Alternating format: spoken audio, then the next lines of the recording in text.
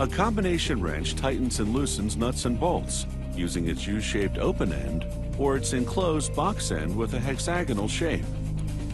To start, a steel bar travels into a die cutting machine that cuts it into lengths called billets. Each billet will become a wrench.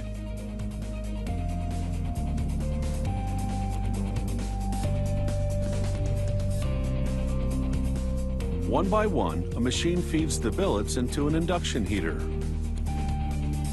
It heats them to more than 1800 degrees Fahrenheit, then sends them into a forging press, where the first die creates the wrench's general shape. The second die gives it its finished shape, and the third trims off the excess metal.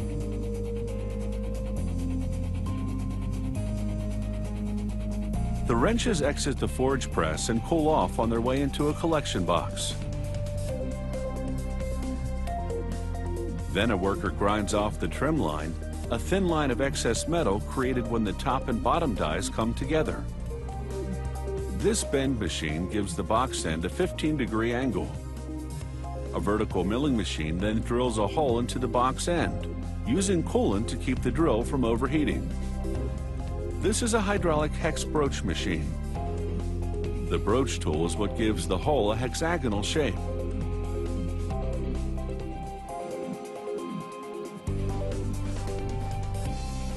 Open-end wrenches also go through a broaching operation.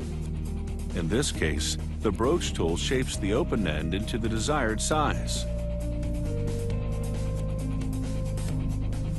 The wrenches now undergo a three-stage heat tempering procedure to harden and strengthen the metal.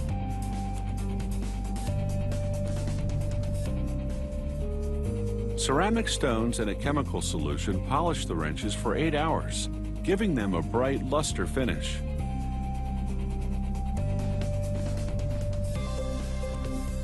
A machine then dips the wrenches into a nickel plating solution that helps make them corrosion resistant.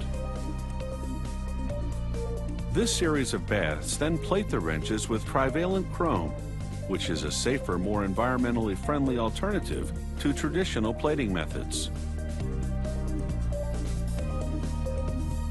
After a final rinse in water, the wrenches come out with a bright cosmetic finish.